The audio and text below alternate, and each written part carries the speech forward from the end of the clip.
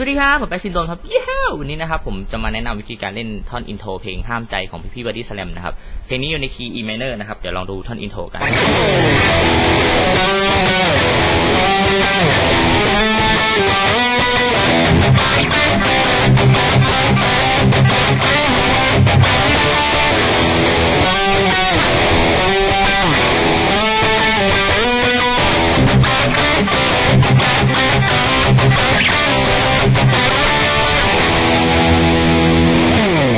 มาณนี้นะครับ อ่า ตอนแรกเล่นเป็น power chord คอร์ด E ครับ แล้วก็ นี่เป็นคู่8นะครับ คู่ 8 คือ อ่า จับสาย 5 กับสาย 3 นะครับ อ่า ดูที่รูนิ้วชี้เป็นหลักนะครับ แล้วมันจะเล่นเหมือนเดิมแค่ นิ้วก้อยกับนิ้วชี้ต้องไปเหมือนกันนะครับ แต่ว่า อ่า อ่า ดูที่นิ้วชี้เลื่อนแค่นิ้วชี้นะครับ อ่า ก็คือ ตอนแรกรูดก่อนรูดจากช่องสาย สาย 5 เนี่ย ดูที่สาย 5 นะครับ เลื่อนไป อ่า ช่อง 11 เอ้ยเลื่อนไปช่องสิบแล้วกลับมาเก้าครับ อ่าแรกคือเล่น power chord แล้วก็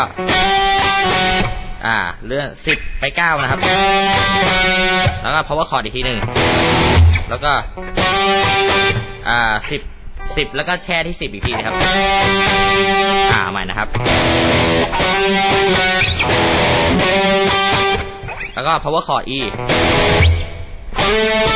อันนี้สิบไปสิบสองสไลด์ไปสิบสองครับ แล้วก็กลับมาสิบแล้วก็สไลด์ไปสิบสี่นะครับ ดูอันที่สามใหม่นะครับ เอาแค่นี้ก่อน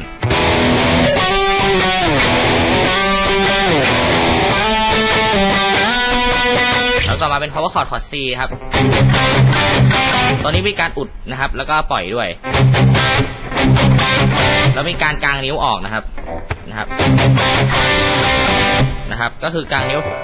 เหมือนเพิ่มเหมือนพวกคอร์ด add nine เข้ามานะครับ โดยที่นิ้วก้อยเนี่ย อยู่ที่สายสามช่องที่ ช่องที่เจ็ดนะครับ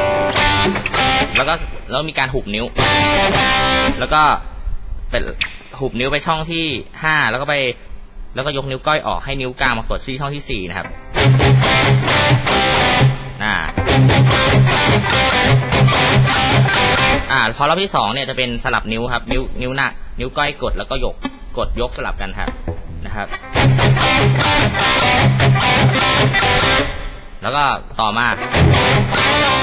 ตรงนี้ก็เป็นสไลด์นะครับ จะสไลด์ทั้งชุดเลยก็ได้นะครับ ผมชอบสไลด์ทั้งชุดเพราะว่ามันง่ายดี แล้วก็คือเน้นดีดสายสี่กับสายสามครับ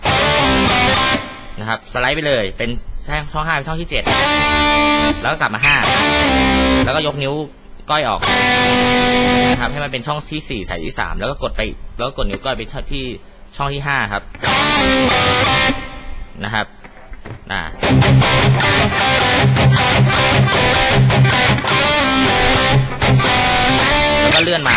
ช่องที่เจ็ดนะครับ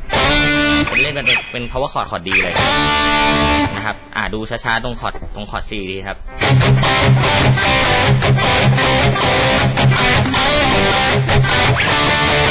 อ่าก็คือจะเล่นทั้งเนี้ยทั้งชุดเนี่ยตั้งแต่เล่น power chord คอร์ด E เนี่ยสองรอบนะครับ เดี๋ยวผมลองเล่นช้าๆตั้งแต่ต้นให้ดู